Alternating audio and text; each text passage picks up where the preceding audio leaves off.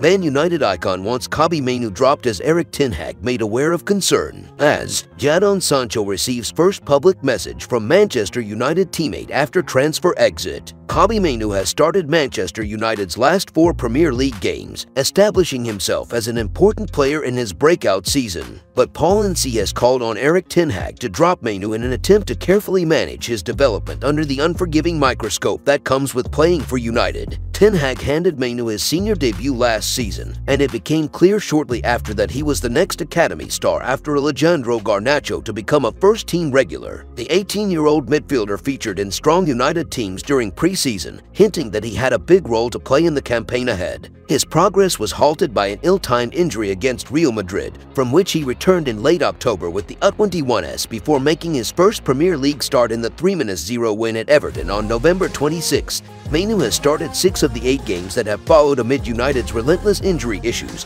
that have kept Casemiro and Mason Mount sidelined for prolonged spells. With Casemiro's return to action imminent and Mount also expected back on the pitch this month, how highly Ten Hag rates Mainoo will become obvious, and Ince wants to see the Dutchman step off the accelerator and occasionally take him out of the team to manage his development. There's a lot of technical ability, but I don't see the pace or the understanding of a defensive midfield player. Has tweaked around it, and Mainoo has come in looking like a really good prospect, but they have to be careful with him. They need to take him in and out. He added he needs to listen and learn, cling on to the right people. Suddenly, a young kid plays a couple of games, and everyone gets really excited. Next thing, he's out on the town with his mates. That stuff you can't do. Let Steve McClaren and Darren Fletcher, they are the ones to keep his feet on the ground and make sure he hangs around with the right people. He's only 18 and we have this habit at the moment of getting overexcited about people right away. Give him time. Let him play, let him enjoy his football and take him in and out. Casemiro's return could see Bruno Fernandes benefit from moving back to his natural number 10 position rather than having to drop deep for the ball in a 4-3-3. Mainoo looks like the perfect candidate to partner with the experienced Brazilian in a double midfield pivot.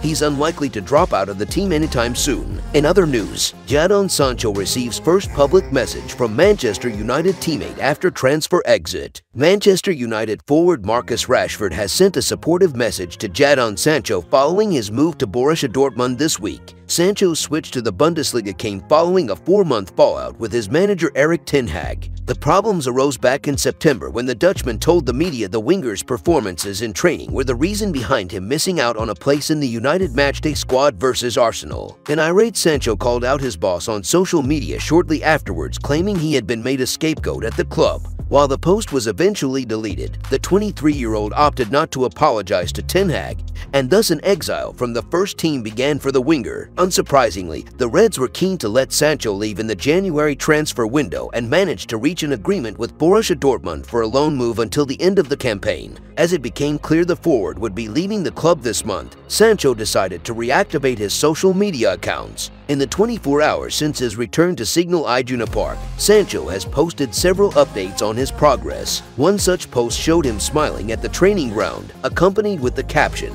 Good to be back on the pitch. Among those to comment on the post was Rashford, who replied, Yes, sir. In doing so, the winger seemingly became the first United player to send his public best wishes to Sancho on Instagram. When Ten Hag was asked for his thoughts during the pre-Tottenham Hotspur press conference, he said, I hope he's doing well, so I wish him the best of good luck. That's it. I hope he's doing well and he'll be a success. If you enjoyed the video, make sure to smash the like button and make sure to subscribe to Man United Hub to get all the latest updates.